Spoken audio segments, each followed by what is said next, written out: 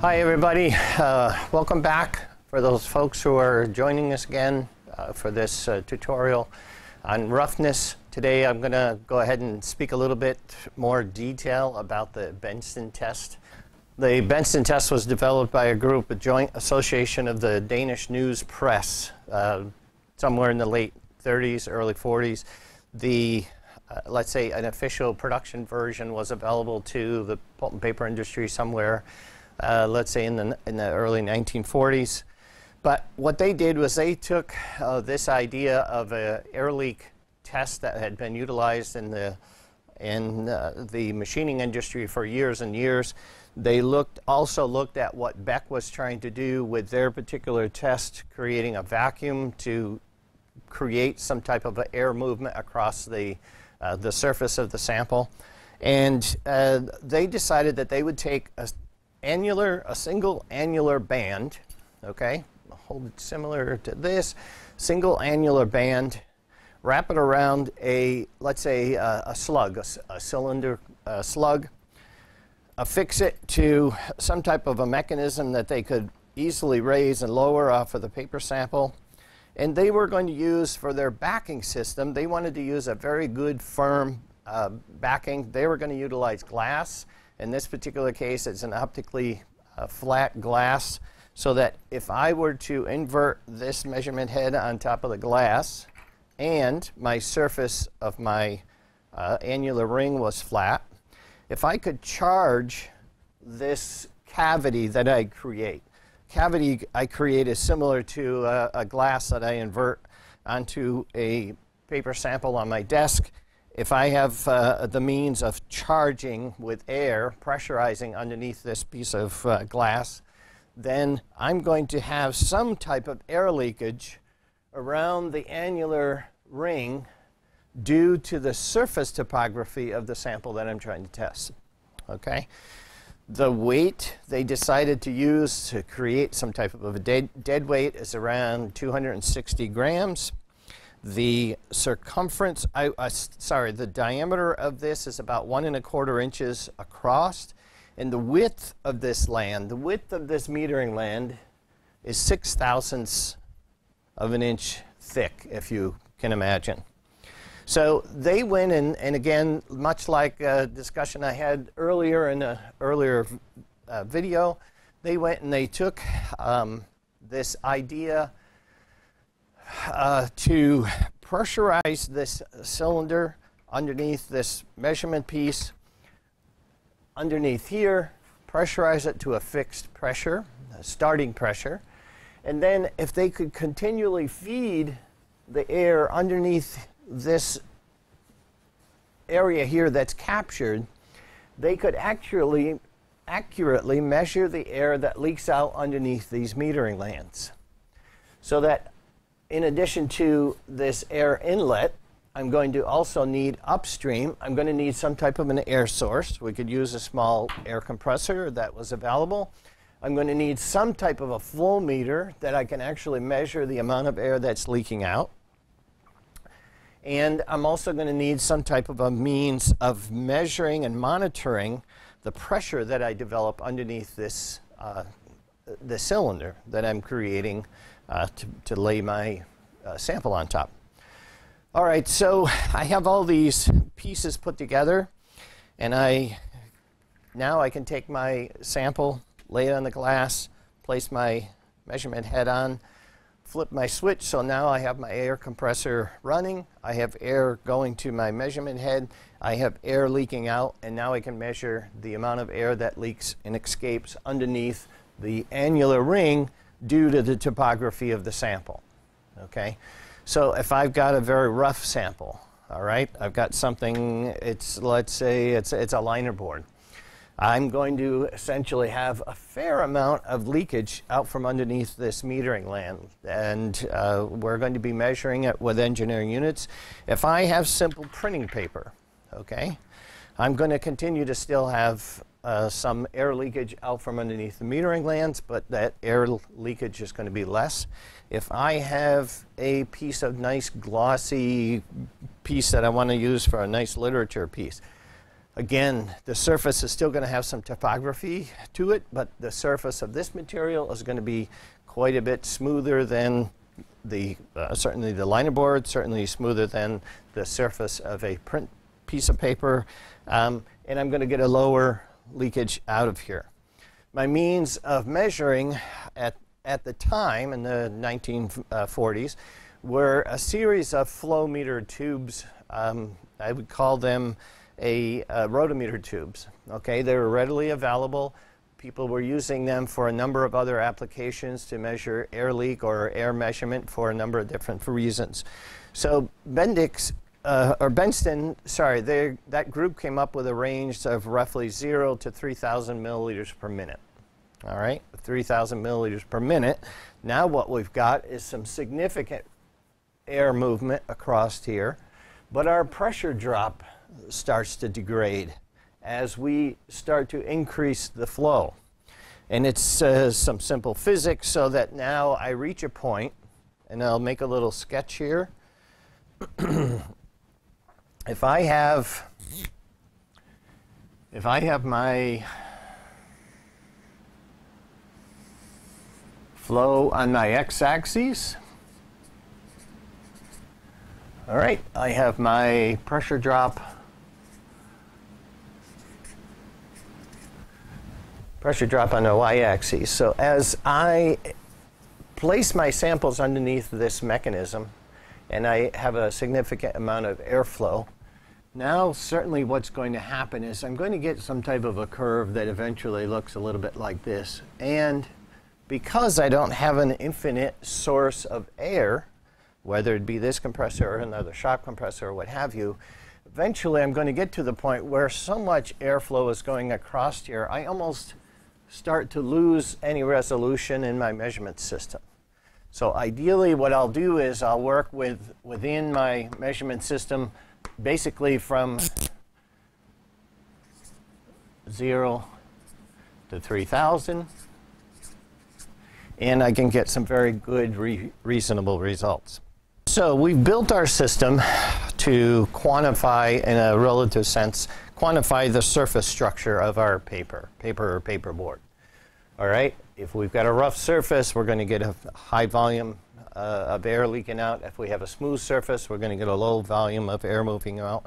So if we can stay within the constraints of our system, our working system, now we could go ahead and we could build another, another instrument to duplicate what we've got here. All right. In order to do that, however, we got to maintain some um, uh, some of the components that are key to making one measurement system uh, look and measure like the other. Certainly, that very, very, very important component is the measurement head. All right. The measurement head has to have the same circumference that uh, our first instrument did. The measurement head also has to have this annular ring has to be the same dimension, the same width as our previous instrument. The, the overall mass of this mechanism, our measurement head, have, has to be the same. Um, you could imagine that if, if I had uh, two different masses, if I had one that was, I mentioned earlier, the, uh, the mass was around 260 grams. If I had another mass that was 460 grams and I placed that on the sample, now I'm going to exert more pressure on top of my paper. I may do some, if the sample is compressible, I may do some uh, smoothing, if you will, or some compressing, if you will. Now I'm going to introduce a variable from my first piece to my second, just based on the idea that I'm loading this sample differently. So I have to maintain my loading pressure, I have to maintain my air inlet pressure, and I also have to maintain how flat this surface is and how flat this surface, my backing is. So all of these components have to be um, have to be linked, are linked together uh, to, um, to create multiple pieces of equipment that I can send to mill A, I can send to mill B, I can send to mill C. And if all three of those locations are ma making basically the same product, um, will have probably have very little issues sending all that product from all those different mills to one uh, one of our customers. He's going to be able to uh, utilize this paper and not have to necessarily worry about okay. Uh, mill A gave me a sample yesterday that was, let's say, uh, a thousand milliliters per minute. Mill B gave me a sample yesterday that was uh, 1500 milliliters per minute, and Mill C gave me a sample that was 750 milliliters per minute. So you can see it's going to be very, very important to reproduce the mass, reproduce the annular ring, be able to reproduce the uh, flatness of this surface, the flatness of my annular rings, be able to reproduce my pressure regulation system. That's also key. You could imagine that if I have two systems, I have one that's regulating at, as an example, 1 psi, okay? I'm going to get a certain flow out from underneath my annulus. If I have another system that, for whatever reason, I couldn't main one, maintain 1 psi, maybe I've got 1 and a quarter psi. 1 and a quarter psi is going to charge this area under here higher, so my pressure differential between my captured area and my atmosphere is going to be higher. I'm going to introduce a higher flow. Okay? Simple as that. If I can't maintain 1 psi, I can only ma maintain 0.75 psi. I'm going to get less flow out from underneath here. So we have to maintain all of those critical parameters in order to be able to reproduce this test over and over again.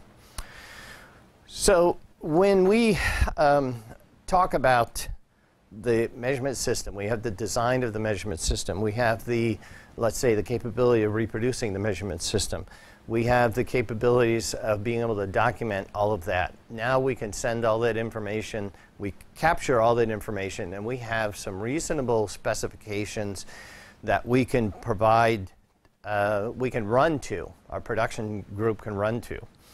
I'm going to, if I'm a, a if I'm a producer, I'm going to go to my customer and I'm going to su uh, suggest to him the only way that we can continue to provide you the same product. We've got a good measurement system that I can repeat tests over and over and over again. The only way that I can provide you with, uh, with a good product and a consistent product is that if I know what is the measurement range of the topography that you can accept, okay? I'm going to have to have samples from my customer that will allow me to understand if my surface topography is getting too smooth, I'm going to have to make some changes on my machine. If the topography of my surface is getting too rough, I'm going to have to make some changes on my machine. So I'm going to have to have a range of samples from that customer that will be able to provide me the tools in order to gu guide my production system and then ship him some consistent product over and over and again. So, so with that, we go to our customer, we have him provide us with samples of materials that he uses that will uh, give us an indication, okay, on, on the rough side, how much flow am I generating with my measurement system? On the uh, very smooth side, how much flow am I generating with my measurement system? And from there, I can go ahead and generate my own internal specifications.